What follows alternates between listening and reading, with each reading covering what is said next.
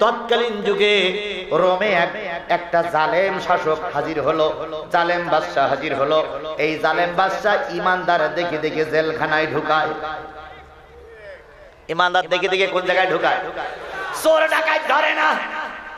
খুনি সন্ত্রাসী ধরে না। যত রাগ সব হুজুরদের উপরে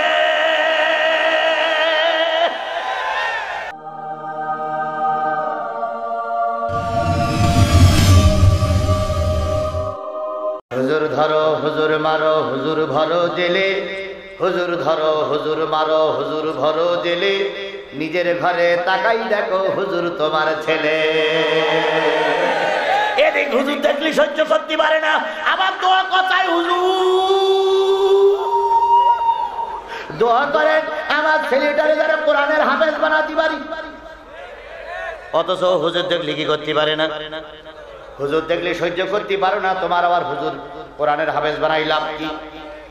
উনি চাই আমি আকাম কুকাম করি, তাতে দুঃখ নাই। কিন্তু আমি মরে গেলে জানো, সেই আমার জন্য দোয়া করে। ওরে, ভালো করে শুনে রাখো, ভালো করে শুনে রাখো। আল্লাহ পাক বলতেছে, যেই ব্যক্তির আমল ভালো হবে না, মৃত্যুর পরে সন্তান আদি, ছেলে মেয়ে কোনো কাজে আসবে না। নিজে নামাজ পড়ে না? বাচ্চা ছেলেরা কয়, খোকা, নামাজ পড়েছিস? ছেলে কয়, বাপ্পা নামাজ পড়ে না, আমার শুধু নামাজ পড়তে বলে। আছে না নাই? তুমি বিড়ে টানো, তোমার ছেলে বিড়ে ঘর হবে। তুমি গাঁজা খাও, তোমার ছেলে গাঁজা ঘর হবে। তুমি আগে ভালো হও, তারপরে ছেলে মেয়েও ভালো হবে। আচ্ছা যারা আজকের এই সমাজে মদ খাচ্ছে, ইয়াবা খাচ্ছে, ওরা কি একদিনই শিক্ষা নেছে প্রথম কি করেছে? বাপ বিড়ি টেনিস। ছেলের কাছে খোকা, বিড়িটা একটু আগুন জ্বালাই নিয়ে ছেলে আগুন জ্বালাই নিয়ে আসার আগে বাবার কাছে দেওয়ার আগে তিনবার টান দেয়। টান দিয়ে দেখল বাপ কি খায়? কিছুদিন পরে বাপ কয় সিগারেট ধরাই নিয়ে সিগারেট টানে। এরপরে কিছুদিন দেখা যায় কিছুদিন পরে দেখা যায় বাবা কলকের ভিতরে কি যেন দিয়ে আগুন দিয়ে এরপরে ধোয়া টেনে টান দেয়। মারে জিজ্ঞেস করে আমার। আব্বা আগে খেতে বিড়ি তারপরে ধরলে সিগারেট এখন কি জানে মা ও? ওপরের দিক খুদায় কি ও? মা কয়, গাঁজা। ছেলে কয়, তাহলে আমি একটু গাঁজা খেয়ে দেখি। বিশ্বাস করো, অধিকাংশ ছেলে কাছ থেকে শিক্ষা নেয়। এই জন্য ছেলে গাঁজা খাবে না, ছেলে মদ খাবে না, ছেলে ফেন্সিডিল খাবে না। তুমি বেটা যদি ভালো হও, তোমার সমাজ ভালো হবে। পুলিশ একলা কয়জনের ঠেকাবে? আর প্রধানমন্ত্রী তো মোটামুটি চারিদিক আশ্বাস কায়দা করে বেঁধে বেঁধে লেগেছে এই সমাজ থেকে। মাদক মুক্ত সমাজ করবে। আমরা প্রধানমন্ত্রী আপনার সাথে আছি। আমরা প্রধানমন্ত্রী আপনার সাথে মাদকের বিপক্ষে অবস্থান নিয়েছি। কিন্তু আপনার যারা সুযোগ্য সন্তান গোটা দেশে ঘুরে বেড়াচ্ছে এরাই মাদক নিয়ে দৌড়দৌড়ি করছে। আগে এদের কন্ট্রোল করুন মৌলবীদের কন্ট্রোল করা লাগবে না। কারণ মৌলবীরা গাঁজা খায়। মৌলবীরা মদ খায়। গোটা বাংলাদেশে একজন ইমাম সাহেবের দেখাই দেন, যে ইমাম সাহেব মদ খাওয়া অবস্থায় ধরা পড়ি একটা জায়গায় দেখাই দেন তো আপনারা বাংলাদেশে এতগুলো বক্তার মদ বন্ধ করে দেন। কোন বক্তা হিরোইন খায়? কোন বক্তা মদ খায়? বন্ধ হবে। গাঁজার আসর বসায়। ওগুলো চকি দেখতে পাও না তোমরা। পীরির দরবারে ওরসের নামে মন মন গাঁজা খায়। পীরও গাঁজা টানে মুড়িদও গাঁজা টানে এসব চকি দেখে না। নড়ি করে জিহাদি তাফসির বন্ধ করে দেওয়া বিশ্বাস করো আমাদের মা পিলে এসে বেনামাজি নামাজি হয়। আমাদের মা পিলে এসে সুৎখর ভালো হয়। আমাদের মা পিলে এসে দাড়িবিহীন লোক দাড়ি রাখতে শুরু করে। আর এখন নড়িয়ে চড়ি হুজুরদের মাহফিল বন্ধ। কেন বন্ধ করেন আপনারা? কে জন্য বন্ধ করেন একদল লোক কি বলে কষ্ট পরিশ্রম করে কোরআনের একটা মাহফিল দিচ্ছে আর একজন লোক পিছের দিতে কাটি দিচ্ছে জিহাদি আসলে সব সর্বনাশ করি ফেলবে জিহাদি সব সর্বনাশ করি আছে না নাই আছে না নাই আছে না নাই? আমি দেখতে পাইনি। এই কমিটির লোক দেখতে পাইনি। প্রশাসনের লোক দেখতে পাইনি। কিন্তু আমার পেরেছে গত কয়েকদিন আগে পাবনায় মাহফিল করলাম। এক লোক এসেছে, ঠ্যাং এক কান, পায়জামা এক কান, হাঁটুর নিচে আর এক কান নিচে। পায়জামা বড় করে হাঁটু বলে হাঁটু নিচে এক কান, আর এক কান নিচে ফুল তিনি আবার উকিল মানুষ। তা আমি বললাম, স্যার, আপনার ইয়ে দশা কেন কাছে হুজুর কি? ঠ্যাঙের কান, উঁচু আর এক কান, নিচু কেন কাছে হুজুর, তাও আপনি দেখে ফেলেছেন, আপনার চোখ ভালো তো? আমার এই ক্যান্সার বললাম ক্যান্সার হলো কেন? হলি আর কি আল্লাহ আমি বললাম চিকিৎসা করে চিকিৎসা গোটা দেশ চিকিৎসা করতে কোনো জায়গায় ভালো হইল না মাদ্রাসাও চিকিৎসা করেছি ভালো হইল না। তাই পরে শুনলাম যে এই লোকটার এই দোষা কেন কয়, হুজুর এই লোক এক হুজুরের বিরুদ্ধে মিথ্যা সাক্ষী দিয়েছিল। এই লোক এক হুজুরের বিরুদ্ধে মিথ্যা সাক্ষী দিয়েছিল। মিথ্যা সাক্ষী দেওয়ার কারণে সেই হুজুর মহা বিপদে পড়েছিল। আল্লাহ পাক মনে হয় ওই হুজুরের অভিশাপের কাজে লাগাচ্ছে। আজকে মারো! আজকে আমাদের মঞ্চ অপমান করো! মিথ্যা মামলা দাও! কেউ না দেখলে আবার আল্লাহ দেখবে আমার ছেলেদের গুলি করে মারতেছ খোদার কসম যে ব্যানের থেকে গুলি বাইর হয়েছে যে বন্দুক থেকে গুলি বাইর হয়েছে ওর কই ভেদ আমার আল্লাহর কাছে দেওয়া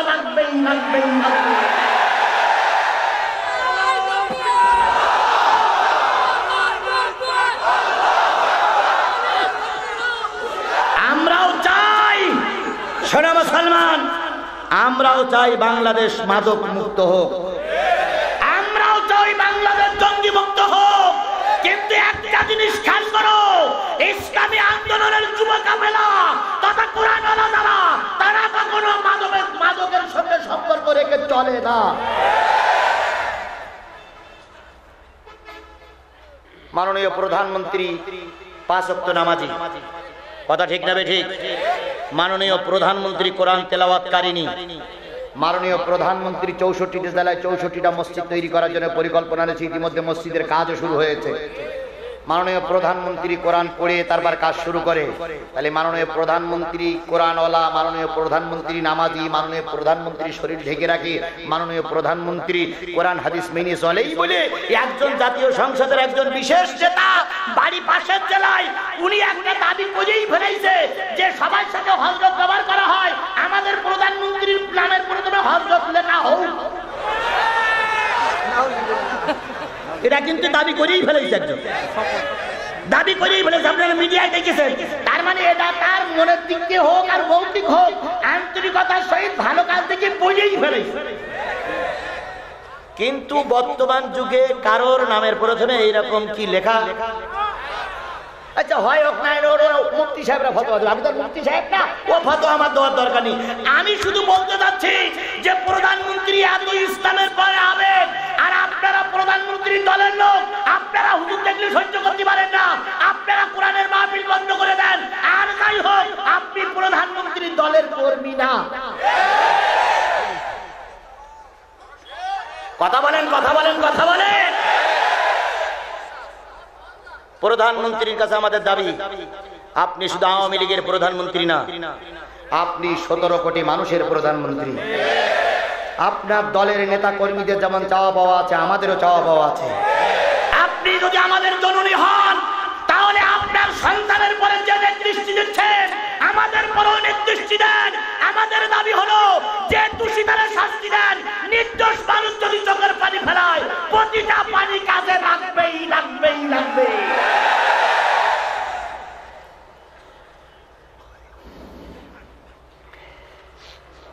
কারোর বিপক্ষে বলার জন্য আমি আসি না। আসারও নিয়ত নেই। আমি সত্য কথাটাই বলতে চাই। সত্যটা মানুষের কাছে তুলে ধরতে চাই, কথা বলেন ঠিক কিনা?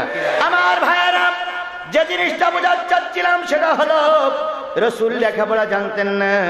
রসুল লেখাপড়া জানতেন না। রসুল বলেন, শোনো, একজন জালেমের একদল জাল, এক জালেম বাদশার খপ পড়ে পড়ে গেলেন। তোমাদের একদল দিনী ভাই। তোমাদের একদল কি ভাই? এরা কালেমার দাওয়াত দেয়, লা ইলাহা ইল্লাল্লাহ, ঈসা রুহুল্লাহ। এই কালেমা দাওয়াত তোমার কারণে। ওদের পরে জুলুম অত্যাচার শুরু করল, ওদের জেলের ভিতরে ভরলো, ওদের দ্বারা রিমান্ড, ওদের রিমান্ডে নিল, ওদের পোশাক পরিচ্ছেদ খুলে ন্যাংটা করে জেলখানায় ভরে রাখল। ওদের দোষ হচ্ছে, ইল্লা আইমিনু বিল্লাহিল আজিজিল হামিদ। ওদের একটাই দোষ, ওরা ইমান এনেছে আল্লাহর উপরে।